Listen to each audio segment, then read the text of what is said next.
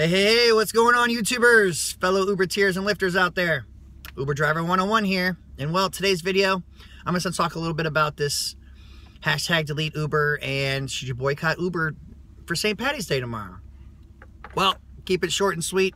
Fuck that. Hell no. Go out there and get your money.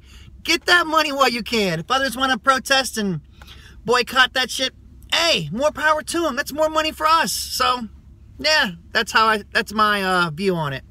I know I might be an asshole, might not be, you know, supporting fellow drivers and you know, increase those rates and everything, but let's be real. Every time you get those little fucking surveys, doesn't everybody put in there, pay us more, increase rates?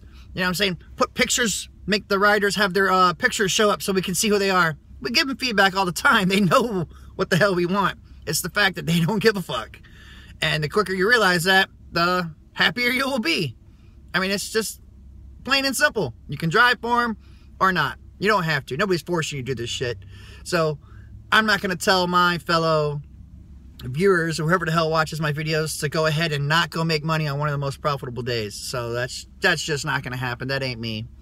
Uh, Uberman and Harry Campbell, you know, they made, uh, like Uberman made a video. Harry Campbell's got a nice blog out there. I mean, they're awesome people. Don't get me wrong. They've been in the rideshare game a long time they've seen it from the, you know, when you were getting paid really, really fucking good to what it is now. So I'm not going to down anything they say or do because that's just not, not what I do.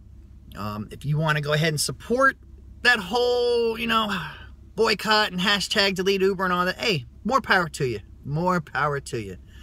But we all know it's not really going to make a difference. All right unless you had everybody not drive Uber for one day. I mean, everybody. There'd have to be nobody for them to fucking care or notice. But even then, they probably still might not. Because all they do is put that surge up there higher and higher and higher and higher and higher, and then people are gonna be like, bam! Jumping online, I'm getting this money. So, that's just how it is. That's how the business world works. And yeah, like I said, call me an asshole or whatever, but I'm not gonna support it. I'm going to go out there and drive. I'm not going to be a hypocrite and tell others not to drive so I can try to benefit more from it. When it surges more, no, not going to happen. Well, that's basically it, guys. Uh, and for those that are going to drive tomorrow on St. Patrick's Day, please remember puke bags, buckets.